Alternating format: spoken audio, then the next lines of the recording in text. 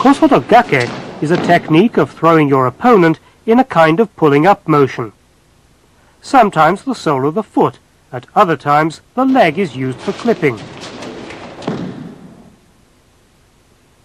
As the opponent withdraws his left foot, shifting his weight onto his other foot, you make him fall, hooking with your leg.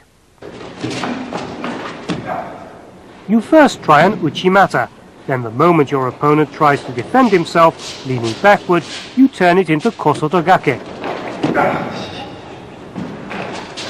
Here you take hold of the rear collar to bring your opponent in close, push him back to go off balance, then hook and make him fall.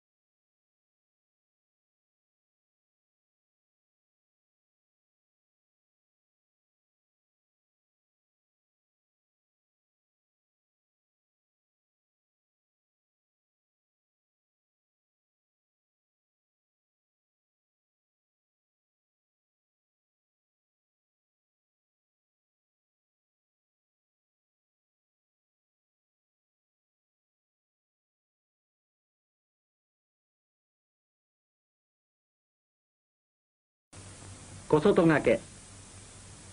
右前隅に崩し引きつけながら相手のくるぶしに足裏を当てて抜き倒します。